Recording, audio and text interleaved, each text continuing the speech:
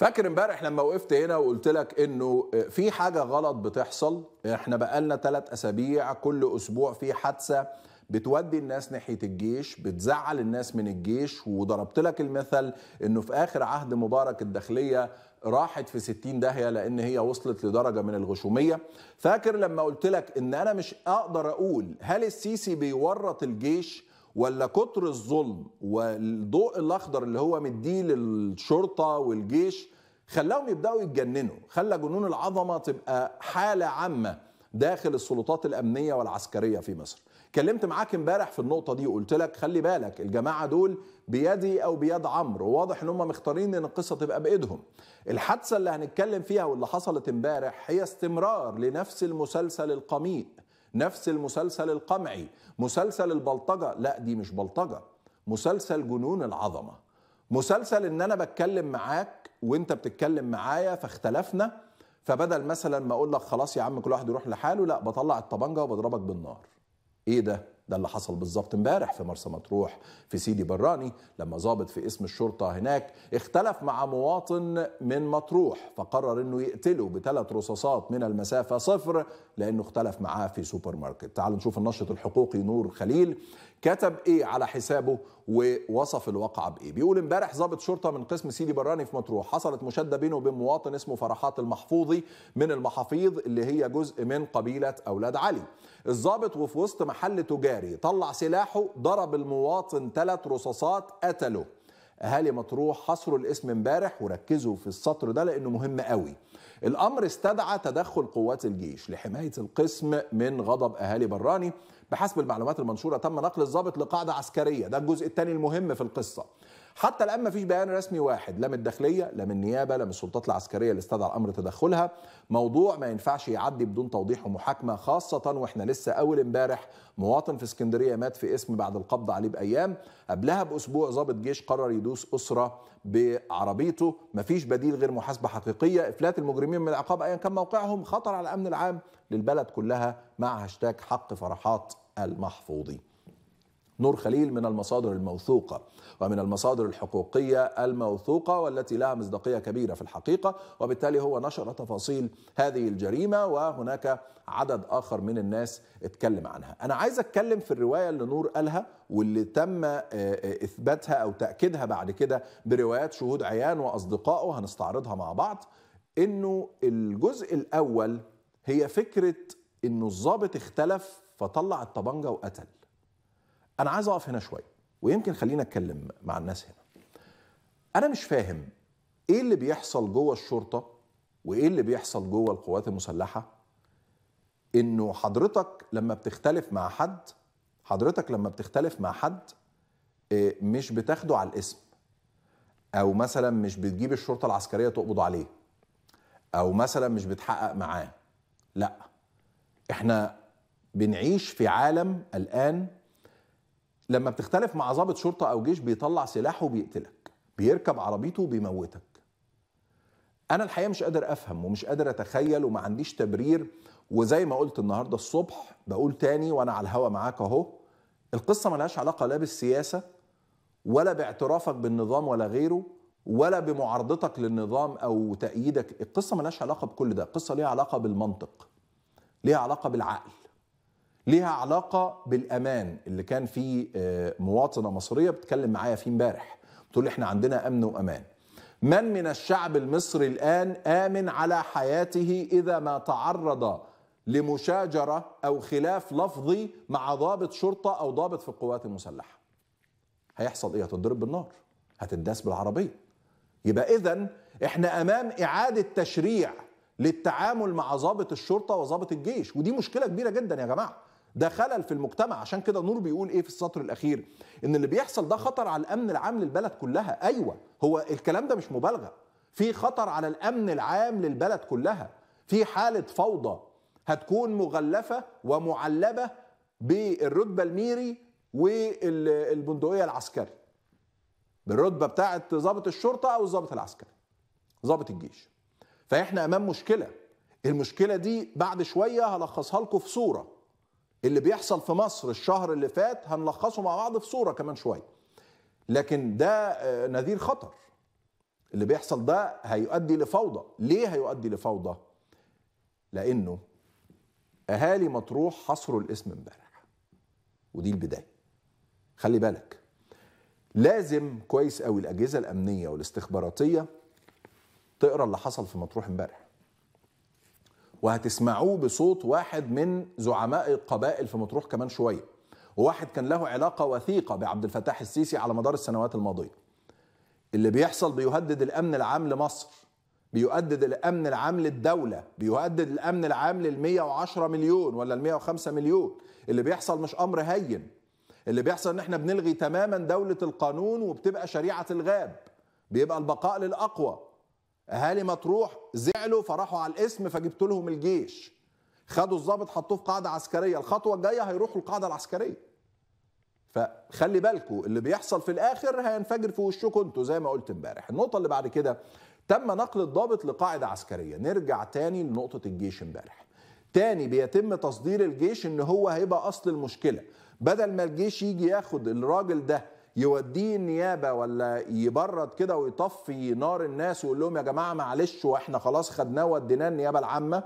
لا ده إحنا هناخده كجيش نحميه عندنا في القاعدة العسكرية. فأنت بتزيد غضب وسخط الناس تجاهك كمؤسسة عسكرية. كجيش تحول إلى نار. نكمل كده ونشوف صورة الشاب فرحات أبو الشردة أو أبو محفوظ اللي مات امبارح على يد ضابط الشرطة. صديق لفرحات كتب على صفحته على الفيسبوك أيضا بينعي صديقه. تعالوا نشوف قال إيه. عبد العزيز الجميعي قال إن لله وإنا إليه راجعون. صديقي فرحات أبو الشردة المحفوظي في ذمة الله. الله يرحمك يا طيب. حسبي الله ونعم الوكيل. يجب محاسبة الضابط ولا بد من القصاص. كفاية استهتار ارجوكوا سيادة النواب العمد المشايخ يا ريت تنتفضوا. كفاية أقسم بالله دمنا رخيص للدرجة هذه مش أول مرة ولا ثاني مرة. بوزقيم اللي راح ضحية على يد ضابط خسيس مستهتر وغيره وغيره. رحمة الله عليه. واضح انه بيتكلم على حوادث مشابهة. إحنا مش رخاص للدرجة هذه. يجب صوتكم يصل إلى السيد رئيس الجمهورية من هذا الظلم والتنكيل بأبناء مطروح الأبرياء. حسبي الله ونعم الوكيل. تعازينا لكل قبائل مطروح عامة في فقيدنا المغدور يعني الحالة متكررة. ودي الحقيقة اللي شهادات كتيرة جدا وصلتنا ونشرت على مواقع التواصل الاجتماعي. أنا الحقيقة جاءتني رسائل لم أتأكد من صحتها وأنا ما تعودتش معاكم إن أنا تجيلي رسالة من أي حد أطلع أقول لكم أنا جالي مصدر وبتاع ما فيش الكلام ده. فأنا الحقيقة وصلتني رسائل على تويتر وعلى الفيسبوك لكن ما نشر من مصادر موثوقة زي نور خليل وزي آخرين. الحقيقة هي دي اللي إحنا جايين نتكلم بيها النهارده. تعالوا نشوف جزء آخر من الجنازة. بتاعه فرحات أبو المحافيظ. دي صورة من ال ال الإعلان بتاع الجنازة أو الميعاد بتاع الجنازة إنها تبقى بعد صلاة الظهر بجامع الزويدة. وبعدها كان في فيديوهات انتشرت عن غضب الأهالي في حضور القوات المسلحة المصرية. نتابع.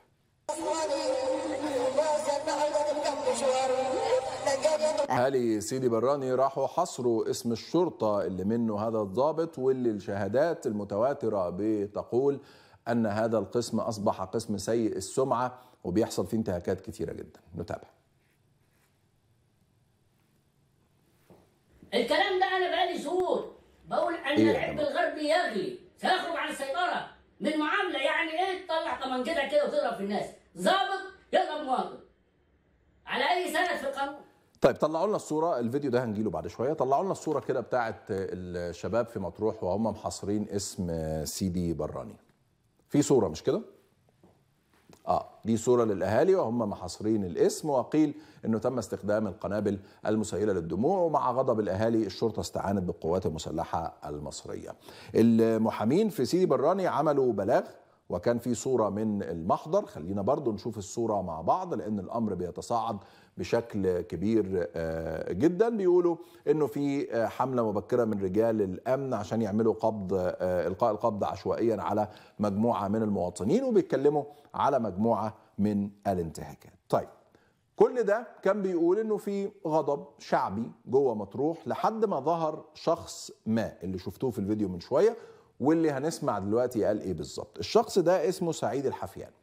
سعيد الحفيان لمن لا يعرفه هو عمدة في مطروح وزعيم من زعماء القبائل الغربية وهو من الرجال مطروح اللي التقوا عبد الفتاح السيسي عندما كان مشيرا ومرشحا في انتخابات الرئاسة في 2014 بل والأكثر من ذلك أنه قلده يعني قلادة أو عصا مرشالية حاجة من تقاليد القبائل الغربية في مطروح. وبالتالي الراجل ده خرج النهارده في فيديو على صفحته اللي بيتابعها أكثر من خمسين ألف على الفيسبوك ووجه مجموعة من الرسائل القوية. الفيديو مدته 12 دقيقة لكن أخطر جزء قاله سعيد الحفيان هو الجزء اللي هنسمعه دلوقتي. الكلام ده أنا بقالي شهور بقول أن العب الغربي يغلي سيخرج عن السيطرة. من معاملة يعني إيه تطلع طمنجتك كده وتضرب في الناس؟ ظابط؟ يضرب مواطن.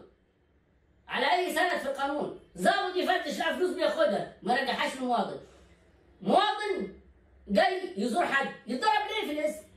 هي دي وغيرها وغيرها وغيرها. مفيش لغة غير لغه الضرب. وانتوا كبير عيب كمان أنتوا حنينين التنازل ولما يقول لكم أصلا مستقبله ومش مستقبله. سيادة الرئيس الصحراء محتاجة ضبط. ما أعرفش أنا اعتقادي بيجري خلق سيناء أخرى هنا لأن سيناء ما لقيتش معالجة سليمة. المعالجة الغير سليمة خلقت سيناء وخلقت الإرهاب. يعني إحنا ثورة 25 يناير سببها قضية صغيرة في الإسكندرية بتاعت شاب اسمه خالد سعيد قتل على يد الداخلية اللي بيقوله سعيد الحفيان خطير. سعيد الحفيان هنا وجه مجموعة من الرسائل الخطيرة للنظام المصري. تعالوا نشوف عشان اللي ما قدرش يسمع الصوت كويس. الراجل قال إيه؟ بيقول له العب الغربي المنطقة الغربية مطروح يعني بيغلي. سيخرج عن السيطرة من معاملة الناس. مفيش لغة غير لغة الضرب اللي إحنا بنقوله امبارح. أنت بادئ تصطدم بقطاعات مختلفة من الشعب المصري. بيكمل سعيد الحفيان وبيقول اعتقادي ودي أخطر حاجة قالها الحقيقة. اعتقادي أنه يجري خلق سيناء أخرى. لأن سيناء ما لقتش معالجة سليمة. المعالجة غير السليمة هي من خلقت سيناء وخلقت الإرهاب يعني إيه؟ يعني أنتوا السبب في اللي حصل في سيناء. ودلوقتي أنتوا السبب في إن أنتوا بتخلقوا سينا تانية في مطروح. رسالة قوية جدا من راجل زي ما بقول لك سلم السيسي. عصا المارشالية وقال له لو سمحت يا سيادة المشير في 2014 لما تنجح ابقى ارفعها لما تبقى رئيس. وكانوا بيثنوا على عبد الفتاح السيسي وكانوا بيتكلموا إن هو فخامة الرئيس اللي مستوعب كل حاجة وكلام هو بيوجه له الرسائل هنا. أنا مش بقول لك إنه منقلب عليه ولا بيقول له أنت وح لأ هو بيوجه له رسائل بيقول له خلي بالك يا سيادة الرئيس اللي أنتوا بتعملوه في سينا أو اللي عملتوه في سينا هو بيتعمل دلوقتي في مطروح. الأمور هتخرج عن السيطرة. بعدين ختم بحاجة السيسي ما بيحبهاش. وربنا يستر على السيد سعيد الحفيان في اللي هيقوله. إيه اللي قاله؟ بيقول لك ثورة 25 يناير قال عليها ثورة. سببها قضية صغيرة في الإسكندرية بتاعت شاب اسمه خالد سعيد قتل على يد الداخلية وكان يجب المعالجة الصحيحة وظلت كرة الثلج تتضخم إلى أن وصلنا للثورة. نهايات حكم مبارك.